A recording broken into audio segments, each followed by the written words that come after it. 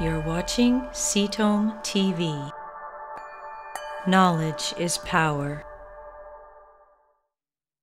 Brenda would like to know Is chemotherapy always necessary with TNBC, triple negative breast cancer. triple negative breast cancer? Um, there's so many different subtypes of triple negative breast cancer. Mm. Uh, you know, we see genetic subtypes. It's been classified, I think, right now. We, I think the general consensus is about five to seven different subtypes, depending on which study you look at. okay. You're going to have uh, immuno based uh, triple negative breast cancers. You're going to have um, ER positive based ones, Hmm. um, PR positive, Hmm. HER2 positive.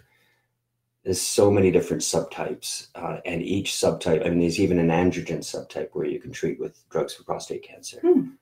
So, and there's PARP inhibitor uh, subtypes, you know, um, that have BRCA mutations, and they can respond to PARP inhibitors and immunotherapy. So, there's so many different subtypes that you could get around chemo. It's whether those chemo drugs are going to be important or not Hmm. it's it's hard to tell without the genetics. You really need to look at the genetics on that. Okay.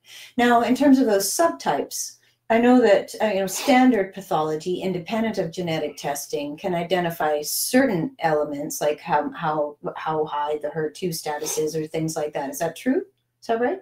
Uh, yeah, it can definitely. That's that's what the tool is right now. Is pathology. It's used as a main diagnostic tool. So, okay, so that stuff about subtyping would be naturally done. We can glean information from a pathology report that wouldn't be used for subtyping because they don't do a lot of they don't really distinguish the molecular differences between these subtypes. Hmm, okay. So pathology is going to focus on different cell types, not different molecular features. I see. And that's where the genetic testing. That's where the comes in. genetic testing comes Got in. it. Okay. All right, Brenda. So to answer your question, we need genetic testing for you to find out what what subtype you really have, uh, and what's going to serve you best, and then you'll be able to know with confidence whether chemotherapy is necessary for you or not. Now we can get a lot from pathology reports too. I mean, if we see a high percentage of tumor infiltrating lymphocytes, CD8 positive lymphocytes, then we know that there's a good chance that immunotherapy will work for the person. Okay.